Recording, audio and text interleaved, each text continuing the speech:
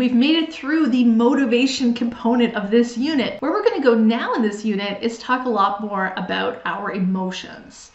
And theories of emotions have really changed over time, but they've been a bit similar at the same time. One of our earliest theories of motivation comes from William James and Carl Lange. And this is the theory that our body being aroused, if you think back to our theory of arousal, our heartbeat, our breathing rate, that this level of arousal can influence our physiological status, and this physiological status can influence our emotions.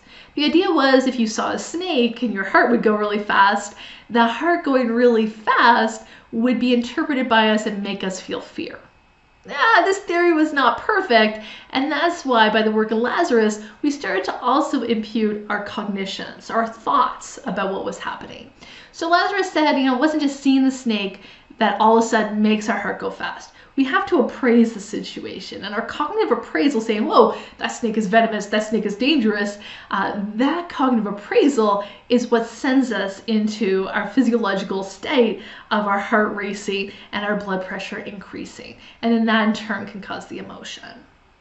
Then this was further addressed by the work of Schachter and Singer talking about a two-factor theory. And this is a basic diagram of the two-factor theory, but I like the two-factor theory. It's the idea that it's not that it goes first to your physiological system and it's not that it goes first to your cognitive appraisal system. It's the idea that when you see the snake, the input from the snake actually goes to two areas of your brain. It goes to the cerebral level of your brain that lets us make cognitive appraisals, and it also goes to the subcortical area of our brain that is our more animalistic, uh, physiological part of our brain, and that is what makes our heart race.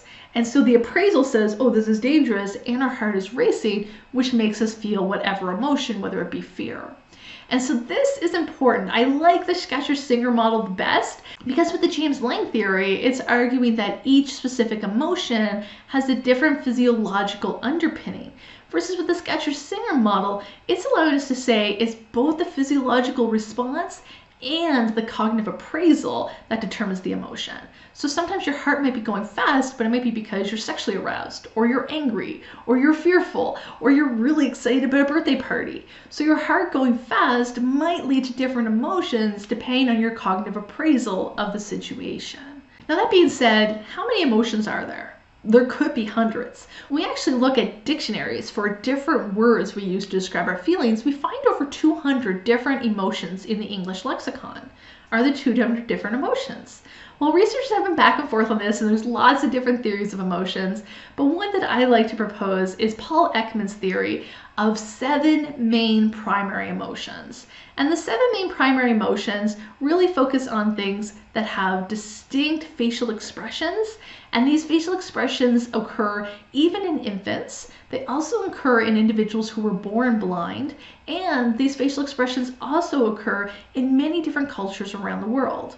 So these seven different emotions are all tied to different facial expressions. They're all tied to somewhat different physiological responses. And they're also tied to different motivations. This allows us to really tie up the emotion and motivation part of the course.